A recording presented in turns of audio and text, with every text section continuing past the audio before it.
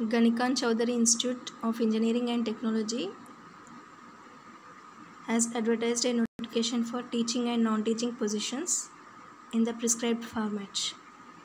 For the faculty positions and technical staff positions, the post of the departments are civil engineering, computer science, electrical engineering, AE or food processing technology, mechanical engineering, electronics and communication engineering, physics, chemistry, mathematics, English, sociology, and non-formal ME, EE, FPT, CSE. And for non-teaching positions, deputy register, assistant register, senior assistant or cashier, or junior assistant.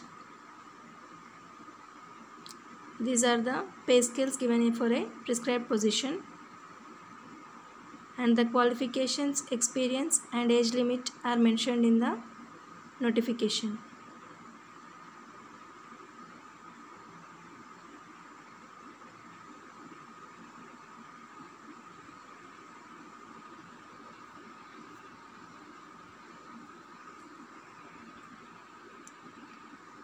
Interested candidates can apply through the website https.www.gkcit.ac.in under notice recruitment section online. The last date for the application is 10th March 2021 midnight.